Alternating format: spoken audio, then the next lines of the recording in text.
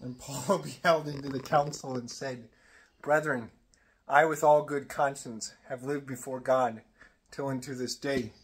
And Ananias, prince of priests, commanded to men that stood nigh to him, that they should smite his mouth.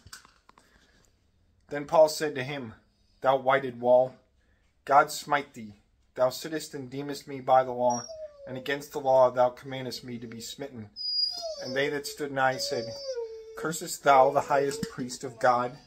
And Paul said, Brethren, I knew not that he is prince of priests, for it is written, Thou shalt not curse the prince of thy people. But Paul knew that one part was of Sadducees, and the other of Pharisees. And he cried in the council, Brethren, I am a Pharisee, the son of Pharisees. I am deemed of the hope and of the again rising of dead men. When he had said this thing, dissension was made betwixt the Pharisees and the Sadducees, and the multitude was parted. For Sadducees say that no rising again of dead men is, neither angel, neither spirit. But Pharisees acknowledge ever either. And a great cry was made, and some of the Pharisees rose up and fought, saying, We find nothing of evil in this man. That if a spirit, what if a spirit, either an angel, spake to him? And when great dissension was made, the tribune dreaded lest Paul should be drawn to pieces of them. And he commanded knights to go down and take him from the middle of them, and to lead him into the castles. And in the night, pursuing the Lord, stood nigh to him, and said, Be thou steadfast, for as thou hast witnessed of me in Jerusalem, so it behoveth thee to witness also at Rome. And when the day was come, some of the Jews gathered them, and made a vow, and said that they should neither eat nor drink till they slew Paul. And they were more, more than forty men that made this swearing together. And they went to the princes of the priest and elder men and said, With devotion we have avowed that we shall not taste anything till we have slain Paul. Now therefore make ye known to the tribune with the council that he bring him forth to you, as if ye should know something more certainly of him, and we be ready to slay him before that he come. When the son of Paul's sister had heard the ambush, he came and entered into the castles and told to Paul.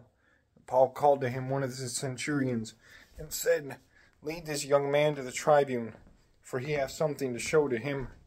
And he took him and led to the tribune and said, Paul, that is bound, prayed me to lead to thee this young man, that hath something to speak to thee. And the tribune took his hand and went with him aside half and asked him, What thing is it that thou hast to show to me? And he said, The Jews be accorded to pray thee, that tomorrow thou bring forth Paul into the council, as if they should inquire something more certainly of him.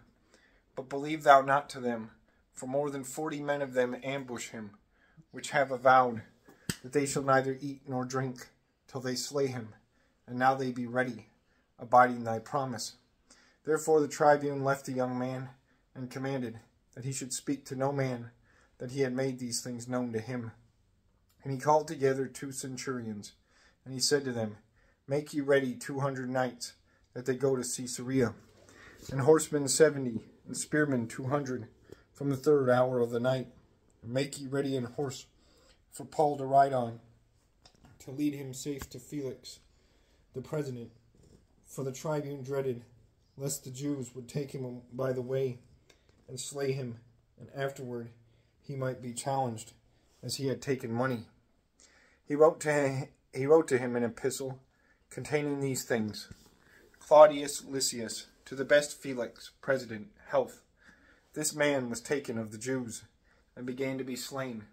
I came upon them with mine host, and delivered him from them, when I knew that he was a Roman, and I would know the cause which they put it against him, and I led him to the council of them. And I found that he was accused of questions of their law, but he had no crime worthy the death, either bonds. And when it was told me of the ambush that they arrayed for him, I sent him to thee, and I warned also that the accusers, that they say at thee, farewell. And so the knights, as they were commanded, took Paul and led him by night into Antipatris, and in the day pursuing, when the horsemen were left that should go with him, they turned again to the castles.